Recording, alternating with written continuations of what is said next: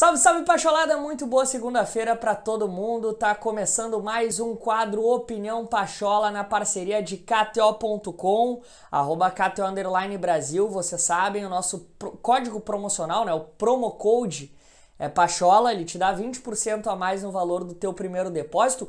E aqui na descrição desse vídeo tem o link lá para tu começar a brincar na KTO com o nosso código promocional. Por exemplo, colocou 100 reais lá, cara, tu vai levar com o promo code Pachola, vai levar 120 reais, por exemplo, né? É, gurizada, teve a coletiva do Jeromel, agora de tarde, e foi muito bacana a coletiva do Jeromel, mas eu quero me atentar a um outro assunto, tá? Porque esse vai ser o principal assunto da tarde, provavelmente a gente vai ter bastante conteúdo sobre isso aqui na rádio.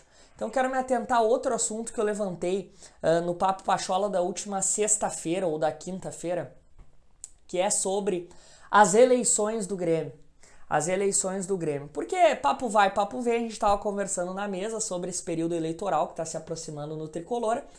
E a gente começou a falar uh, das situações que a gente deve ter ao longo da disputa, do processo eleitoral, uh, no decorrer desse processo eleitoral. E, e aí eu fiquei pensando uh, em, digamos assim, em estratégias que cada um dos candidatos deve usar. E eu não, não vou nem entrar em nome de candidato, até porque é, não, eu não estou falando que candidato A ou candidato B ou candidato C ou D vai fazer isso. Até porque a gente deve ter aí Uh, além dos nomes mais fortes que estão se falando que vão concorrer, deveremos ter outros candidatos também que não estão se falando muito por agora e que deverão concorrer à presidência do Grêmio.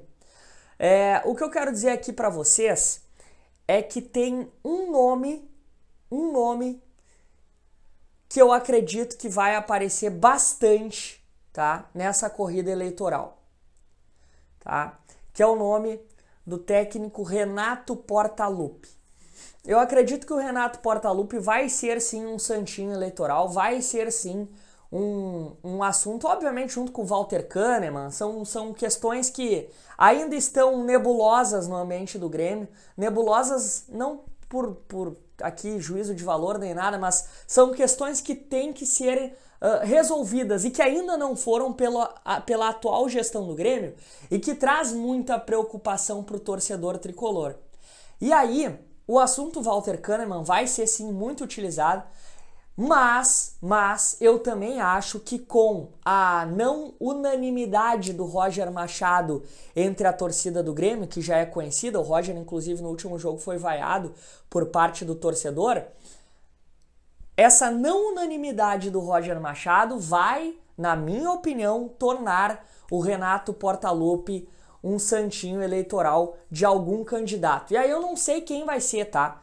Como eu, eu volto a falar aqui para vocês, eu não tô falando que o nome Y, o nome X, o nome Z vai falar do Renato.